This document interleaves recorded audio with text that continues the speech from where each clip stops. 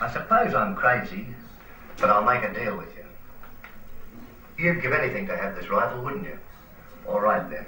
If you can prove that you're really responsible, the gun's yours.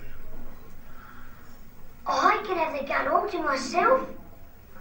And what's more, I'll give you 20 rounds to go shooting with.